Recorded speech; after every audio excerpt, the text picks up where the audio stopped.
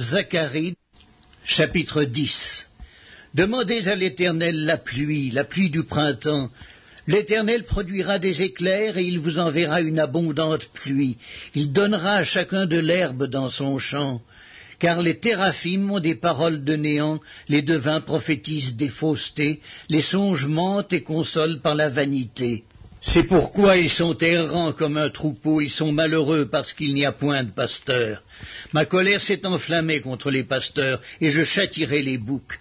Car l'Éternel des armées visite son troupeau, la maison de Judas, et il en fera comme son cheval de gloire dans la bataille. De lui sortira l'angle, de lui le clou, de lui l'arc de guerre. De lui sortiront tous les chefs ensemble. Ils seront comme des héros foulant dans la bataille la boue des rues.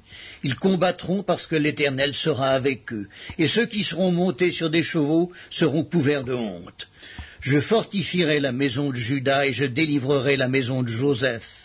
Je les ramènerai car j'ai compassion d'eux, et ils seront comme si je ne les avais pas rejetés.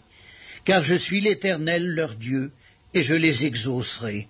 Éphraïm sera comme un héros, leur cœur aura la joie que donne le vin, leurs fils le verront et seront dans l'allégresse, leur cœur se réjouira à l'Éternel. Je les sifflerai et les rassemblerai, car je les rachète, et ils multiplieront comme ils multipliaient. Je les disperserai parmi les peuples, et au loin ils se souviendront de moi. Ils vivront avec leurs enfants, et ils reviendront. Je les ramènerai du pays d'Égypte, et je les rassemblerai de l'Assyrie.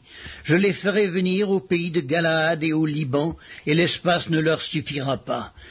Il passera la mer de détresse, il frappera les flots de la mer, et toutes les profondeurs du fleuve seront desséchées. L'orgueil de la Syrie sera abattu, et le sceptre de l'Égypte disparaîtra. Je les fortifierai par l'Éternel, et ils marcheront en son nom.